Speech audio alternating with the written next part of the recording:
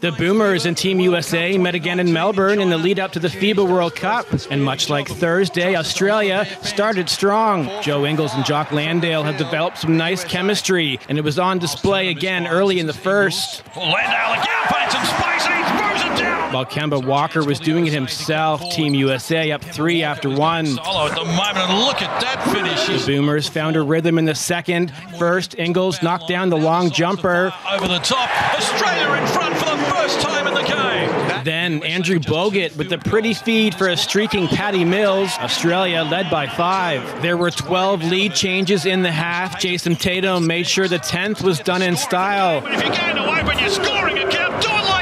Coach Popovich was doing what he could to motivate his team. Walker appeared to get the message as it looked as though Team USA was pulling away. Unlike Thursday, though, the second half was when the Boomers came alive. After the Americans fought back in the fourth, it quickly turned into the Patty Mills show.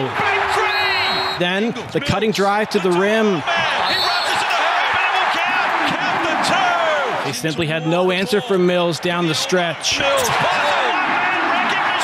Mills. One-man recognition. The Americans with one final chance, the Joe Harris shot wouldn't go Ingles has got it. as Mills and the Boomers create a little history.